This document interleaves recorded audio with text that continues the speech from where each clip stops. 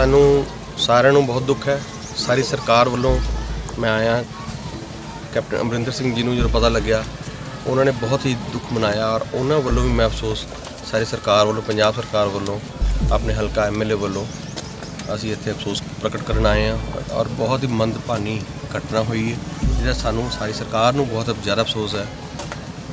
Sir ਕਿੰਨੀਆਂ ਮੌਤਾਂ ਹੋਈਆਂ ਸਰ ਇਹਦੇ ਵਿੱਚ ਤਿੰਨ ਬੱਚੇ ਮਰੇ ਨੇ ਜੀ। ਕੋਈ ਸਰਕਾਰ ਵੱਲੋਂ ਇਸ ਨਾਲ ਨੂੰ ਕੋਈ ਅਸਲ 'ਚ ਹਾਦਸਾ ਇਸ ਤਰ੍ਹਾਂ ਹੋਇਆ ਕਿ ਇੱਕ ਸਰਕਾਰੀ ਬੇੜਾ ਖੜਾ ਸੀ ਜਿਹੜਾ ਬਹੁਤ ਵੱਡਾ ਹੁੰਦਾ। ਹੈ ਸਰਕਾਰੀ ਬੇੜੇ ਦੇ ਨਾਲ ਇੱਕ ਇਹਨਾਂ ਦੀ ਬਣਾਈ ਆਪਣੀ ਪਿੰਡ ਵਾਲਿਆਂ ਦੀ ਕਹਿ ਲਓ, ਇਲਾਕਾ ਵਾਲਿਆਂ ਦੀ ਕਹਿ ਲਓ ਪ੍ਰਾਈਵੇਟ ਬੇੜੀ ਬਣਾਉਂਦੇ ਨੇ ਔਰ ਉਹ ਟੁੱਟੀ ਹੋਈ ਸੀਗੀ, ਜਿਹਨੂੰ ਕਹਿੰਦੇ ਕਿ ਪਰਮਾਤਮਾ ਜੋ ਪਾਣਾ ਹੈਗਾ, ਉਹ ਬੱਚਿਆਂ ਨੂੰ ਪਤਾ ਵੀ ਸੀਗਾ, ਜੋ ਇਹਨਾਂ ਦੇ ਪਿਤਾ ਜੀ ਦੱਸ ਰਹੇ ਨੇ ਕਿ ਬੇੜੀ ਟੁੱਟੀ ਹੋਈ ਹੈ, ਲੀਕ ਕਰਦੀ ਹੈ। ਕਿਉਂਕਿ ਸਰਕਾਰੀ ਬੇੜੇ ਨੂੰ ਚੱਲਣ ਨੂੰ ਟਾਈਮ ਸੀਗਾ, ਬੰਦੇ ਪੂਰੇ ਹੋਣਗੇ ਤੇ ਤਾਂ ਚੱਲਣਾ ਹੈ। ਉਹ ਵਿਚਾਰੇ ਉਸ ਟੁੱਟੀ ਬੇੜੀ ਦੇ ਵਿੱਚ ਸਵਾਰ ਹੋ ਗਿਆ। ਜਿਹਦੇ ਨਾਲ ਉਹਦੇ ਵਿੱਚ ਪਾਣੀ ਭਰ ਗਿਆ ਤੇ ਇਹ ਹਾਦਸਾ ਹੋਇਆ।